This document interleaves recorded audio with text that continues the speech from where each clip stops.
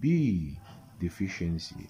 But now vitamin B is divided into different ones. We have vitamin B1 which is also called thiamine. Is it clear?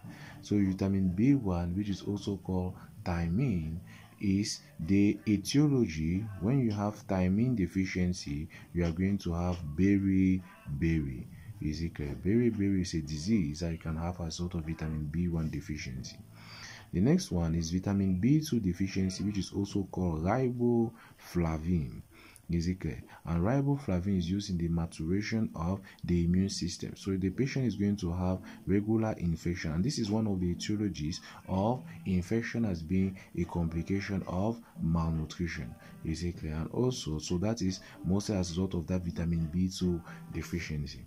The next one is vitamin B3, which is called either niacin or nicotinic acid nicotinic acid. Now the name initially was nicotinic acid but it has been changed to niacin because the nicotine that is inside uh, the inside um, tobacco people were thinking that that nicotine inside tobacco was the same nicotinic acid that was vitamin b3 and so people were taking cigarette as being their complement of vitamin b3 why it is completely false nicotinic acid is not nicotine that's why the name has been changed to niacin.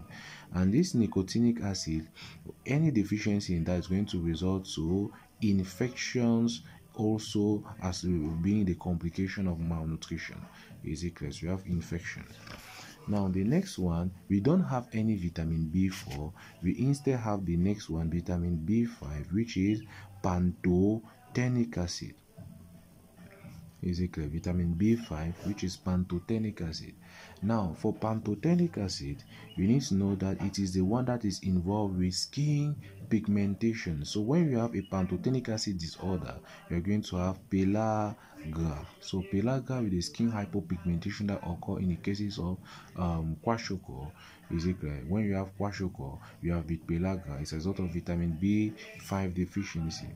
Now, the next one is vitamin B6 deficiency, which is also called pyridoxine. So, pyridoxine is involved with neuropathies. When you have low level of pyridoxine, you have neuropathy, and this is why when you are taking TB medication, particularly isoniazid, you have what is called a peripheral neuropathy because isoniazid is going to result to a vitamin B6 deficiency. So the next one, we don't have any vitamin B7, we don't have even vitamin B8. We have instead another vitamin, vitamin B9, which is also called folic acid. Is it clear? and we also have this vitamin b9 is very important because it is involved with multiplications of cell it is involved with mitosis so there is function on mitosis is you have function on mitosis and you have also you have mostly function on mitosis that's why when there is low level of vitamin b9 you're going to have an anemia called megaloblastic anemia. So it's megaloblastic anemia. And megaloblastic anemia is a form of macrocytic anemia. You need to know that among the macrocytic anemia, you have two. It can either be megaloblastic or non-megaloblastic. Megaloblastic means that the cells inside the blood are going to be poorly segmented and containing more than five to six segments, like the neutrophils. Normally, the neutrophils will contain four segments, but if they contain more than five to six, they are going to be called megaloblastic, and you have that in, in case of megaloblastic anemia. Apart from the anemia, the folic acid also involves the division of white blood cells. So the white blood cells are going to divide. You are going to be low in blood, and so you are going to have you are going to be prone to infection. Also, it can be also involved with low level of thrombocyte in thrombocytopenia.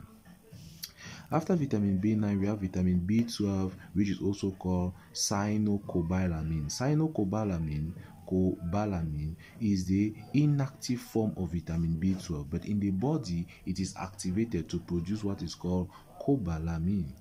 Now, in cobalamin is what is involved in um, the also also in the nervous system. That's why if you have low level of vitamin B12, you're going to have also neuropathies. Clear? And it also associated with a central nervous system disorder. It's not just peripheral neuropathy, but you can have also central neuropathies.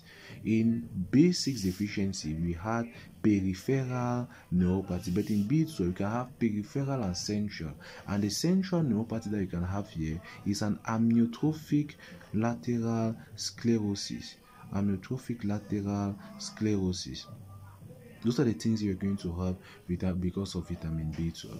Now, the next one, after the vitamin B deficiency, we now move to the next one, which is called vitamin C. Vitamin C is also called ascorbic acid.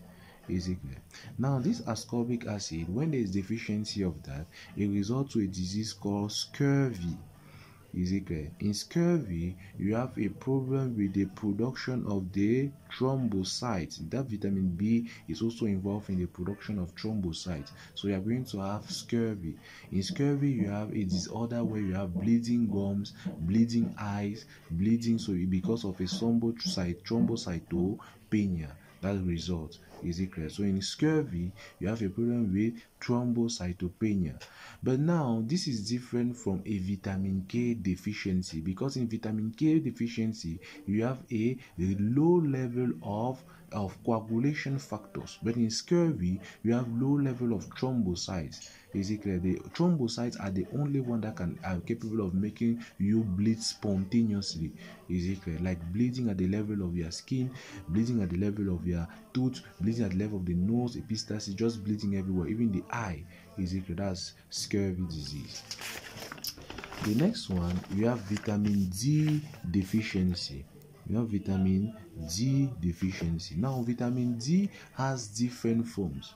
We need to know that it is also produced in the body, vitamin D. That's why um, when you take excessively, it can also have, as it is a fat soluble vitamin. It should not be taken as too excessive as possible. It's also produced from the body.